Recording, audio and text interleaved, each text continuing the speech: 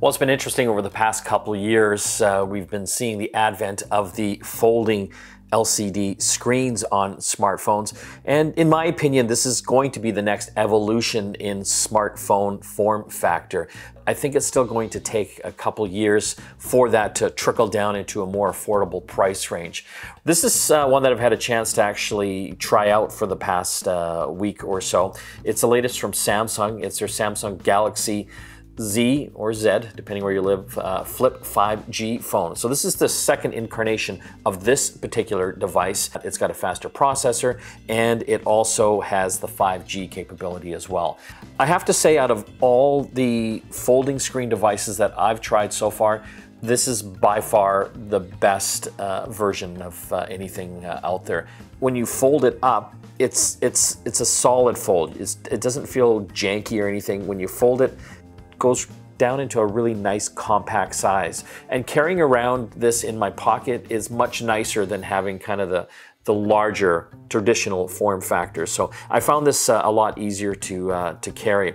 The folding screen is interesting. You know, people are asking, can you see the crease? Well, yeah, if you're really looking for it, but in day to day when you know you're surfing websites and, and things like that, it, it just kind of blurs into the background. So I don't really notice it uh, as uh, much uh, any, anymore. I guess the downside for me with these first generation of uh, folding screen smartphones is that they don't have the super high-end cameras that some of the other flagship phones would have, like the uh, the new Note 20s. That being said, the cameras are still pretty decent on on here.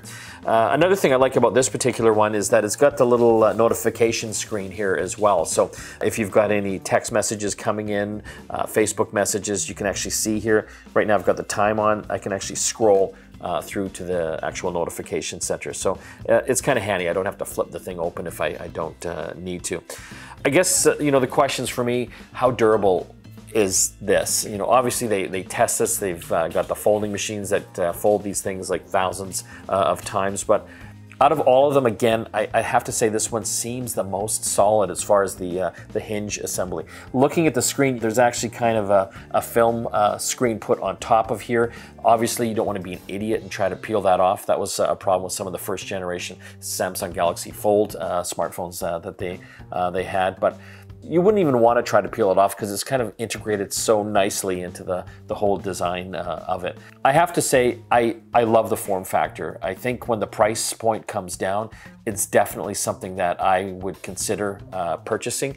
Uh, for those people that have the 2000 bucks and want the latest bleeding edge technology, it's definitely something to, to have a look at. Durability wise, as far as the uh, finish, this has got the, the new uh, uh, Mystic Bronze uh, finish uh, that a lot of people are loving with the new Samsung uh, phones. Time will tell at how easily this scratches. Obviously, it's kind of harder to get cases for these these folding devices.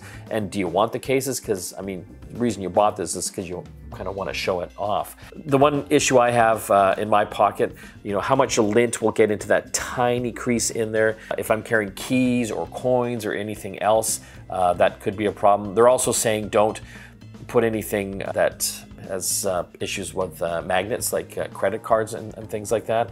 I love this thing. I'm going to try to keep this as long as I can before they pry it out of my uh, my hands. And uh, again, I think the next two years we're going to see a lot more of the smartphone manufacturers coming out with these uh, folding screens. But the Samsung Galaxy Flip Z or Z 5G, it's a winner.